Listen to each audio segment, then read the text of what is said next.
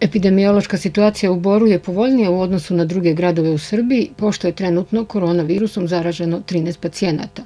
Problem je međutim dugo čekanje na rezultate testiranja, jer prioritet imaju centri gde su se pojavila žarišta. Na području Timučkog regiona rezultate čeka njih oko 500, a u Boru više od 120 sumnjivih.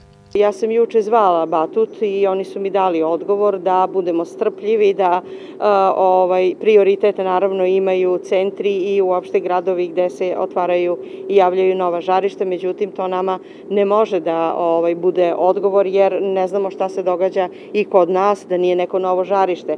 Po kliničkoj slici i po javljanju u COVID ambulanti ne, nije sigurno tako.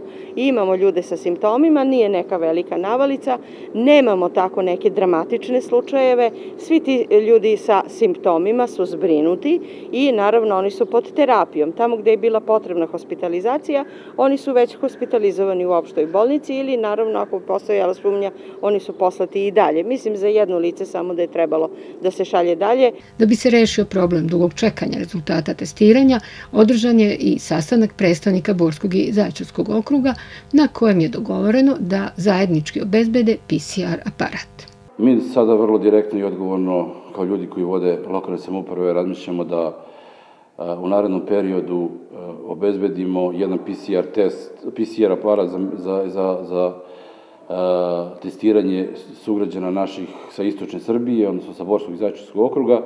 U narednom periodu ćemo predpremiti sve potrebnu dokumentaciju i sve potrebne odluke kako bi svi zajedno ubrzali testiranje na jedan način, a na drugi način mogli, mogli mnogo, ran, mnogo ranije i mnogo odgovornije da reagujemo u trenutku u zavisnosti od broja obolih na dnevnom nivou, odnosno testiranja koji stižu na dnevnom nivou.